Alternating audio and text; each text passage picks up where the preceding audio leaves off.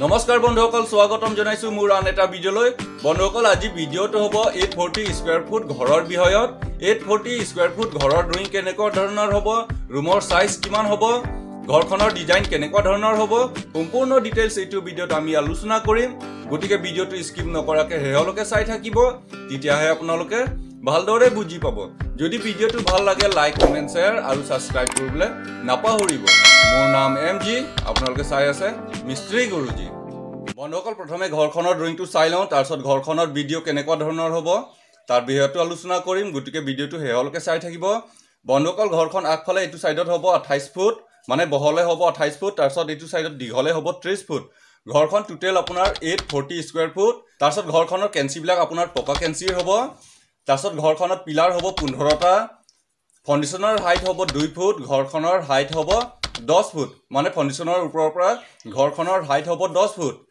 Print ভীম এটা হ'ব তাৰপিছত লিংটাৰ হ'ব দুইটা তাৰপিছত দৰ্জা হ'ব ছয়টা খিৰিকী হ'ব চাৰিপালা দুইটা তিনিপালা চাৰিটা। ভেণ্টিলেটাৰ হ'ব আপোনাৰ চাৰিপালা দুইটা তিনিপালা চাৰিটা। বন্ধুসকল এতিয়া ৰুমৰ চাইজবিলাক মই আপোনালোকক দেখুৱাই দিছোঁ।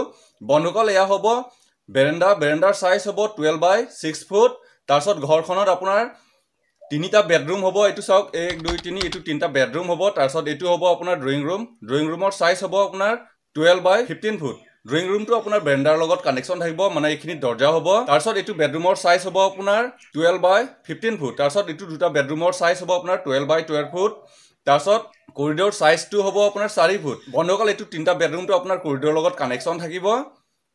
তাৰপিছত এইখিনিত দৰ্জা এটা হ'ব মানে পিছফালে ওলাই যোৱা দৰ্জা এটা হ'ব তাৰপিছত এইখিনিত আপোনাৰ মেইন এণ্ট্ৰি হ'ব। বন্ধুসকল ঘৰখনৰ টয়লেট বাথৰুম আপোনাৰ পিছফালে বনোৱা হ'ব। বন্ধুসকল এইখিনিত চিৰি হ'ব চিৰিৰ চাইজটো হ'ব আপোনাৰ ছয় ফুট। বন্ধুসকল চিৰিটো আপোনালোকে ছয় ফুট ৰাখিব মানে ছয় ফুটৰ পৰা কম নাৰাখিব নহ'লে আপোনাৰ গ্ৰিলৰ ডিজাইন বনাবলৈ নহ'ব।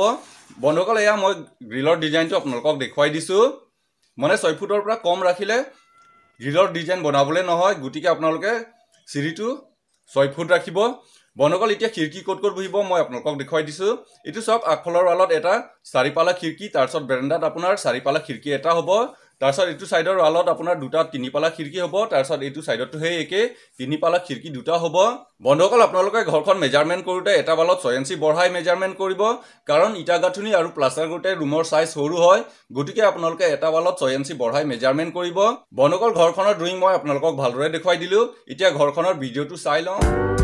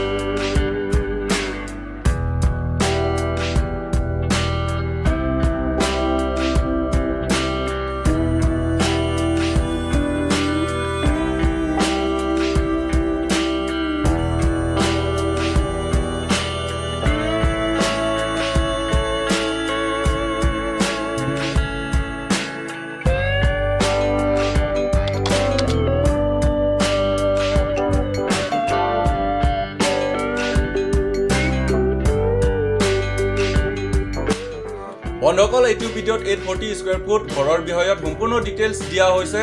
তথাপিও আপোনালোকৰ যদি কিবা প্ৰশ্ন থাকে বা সুধিবলগীয়া কথা থাকে মোক কমেণ্ট ছেকশ্যনত জনাব। মই আপোনালোকৰ উত্তৰ দিবলৈ চেষ্টা কৰিম।